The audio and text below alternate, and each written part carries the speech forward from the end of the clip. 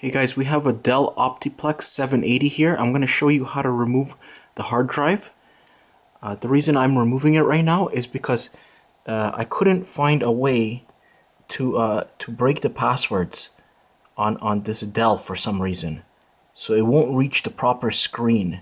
Uh, the only way to do it is with a, a repair CD or an installation CD. So I'm going to I'm going to show how to do it without any kind of software. But for this Dell, you have to remove this hard drive. So um, be careful these tabs. These things break really easily. So it might actually break right now. But first, pull out the, make sure you ground yourself uh, before you touch anything here.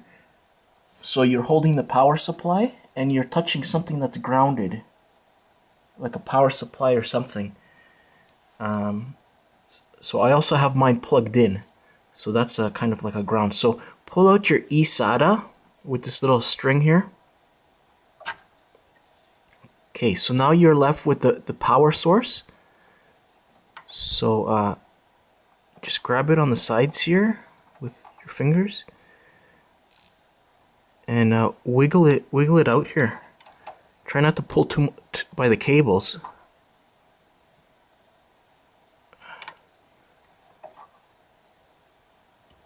Alright, so I got mine out there just by wiggling it a bit. Uh, okay, so move that aside. These cables aside here. And uh, then gently press these. These things will break like really easily.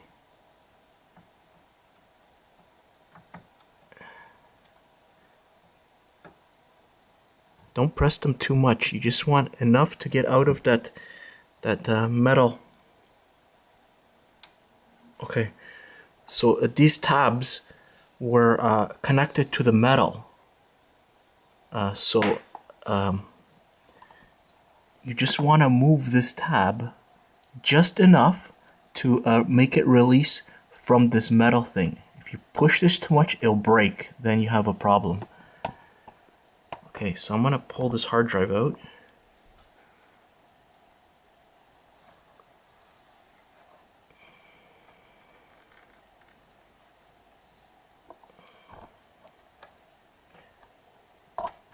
Okay, so um, you could just leave it in this plastic.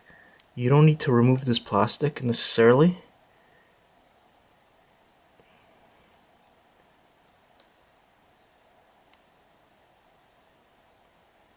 So all you need to do here is um, access these um,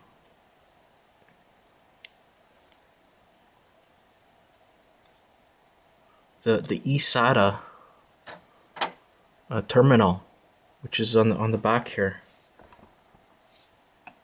So uh, you basically need to uh, plug this into another computer. Uh, but but you're also going to need a, a, power supply for this. So this one is using uh, this connector here. So you're going to have to take um, either leave this thing connected to this power supply and then run your eSATA to, a, to another computer or a laptop. On the laptops, they have eSATA on the side of the laptop, or if it's another computer, like this one, it has an eSATA also on the back of the, the computer. So um, uh, I'm gonna try to uh, connect this into uh, another computer, maybe running off of this power supply.